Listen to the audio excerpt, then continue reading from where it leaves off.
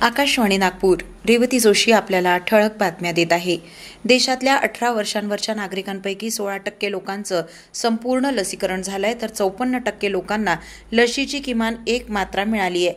केंद्रीय आरोग्य सचिव राजेश भूषण यांनी आज नवी दिल्लीत बातमीदारांना ही माहिती दिली.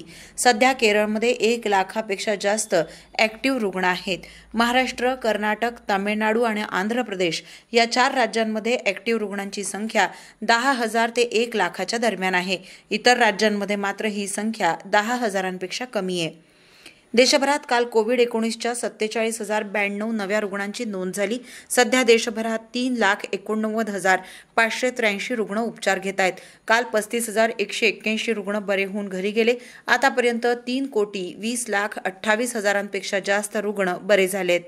राज्यातल्या विद्यार्थ्यांना विविध विभागांकडून दिली जाणारी शिष्यवृत्ती शैक्षणिक शुल्क मिळण्यात येणाऱ्या तांत्रिक अडचणी दूर करून विद्यार्थ्यांना शिष्यवृत्ती वितरित करावी असे आदेश उच्च आणि तंत्रशिक्षण मंत्री उदय सामंत यांनी दिलेत. विद्यार्थ्यांची कागदपत्र द्यायला महाविद्यालयांनी नकार देऊ नये याबाबत विद्यार्थ्यांच्या तक्रारी प्राप्त झाल्या तर संबंधित महाविद्यालयांवर कारवाई केली जाईल असंही सामंत यांनी सांगितलं. माता आणि बालमृत्यू दर कमी करण्याबरोबरच माता आणि बालकांचं आरोग्य सुधारण्याच्या दृष्टीने केंद्र शासनाने सुरू केलेल्या पंतप्रधान मातृवंदना योजनेअंतर्गत राज्यात सुमारे तेवीस लाख ब्याण्णव हजार लाभार्थ्यांची नोंदणी झाली आहे. नोंदणी झालेल्या लाभार्थ्यांसाठी सुमारे एक हजार कोटी रुपयांपेक्षा अधिक निधी वितरित करण्यात आला आहे. बाळासाहेब ठाकरे गोरेवाडा आंतरराष्ट्रीय प्राणी उद्यान इथे सोव्हिनियर शॉपचं उद्घाटन. वनविकास महामंडळाचे व्यवस्थापकीय संचालक एन वासुदेवन यांच्या हस्ते करण्यात आलं. यावेळी एन वासुदेवन यांनी टॉकिंग ट्री ॲपचं उद्घाटनही केलं. या ॲपमध्ये गोरेवाड्यातील झाडांवर क्यू आर कोड स्कॅन करून मोबाईल फोनद्वारे त्या झाडाची माहिती कळणार आहे. मानसिक अस्वास्थ्य असणाऱ्या नागरिकांवर उपाय करणंही शक्य आहे.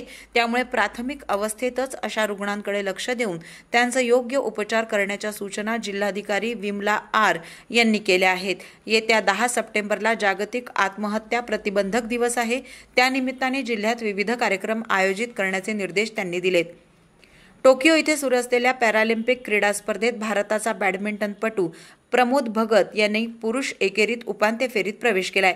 प्रमोद यांनी अ गटातील दुसऱ्या सामन्यात युक्रेनच्या खेळाडूचा एकवीस बारा एकवीस नऊ असा सरळ सेट्समध्ये पराभव केला. महिला एकेरीत मात्र भारताच्या पारुल परमार हिचा पराभव झालाय. याबरोबरच हे ठळक बातमीपत्र संपलं. नमस्कार.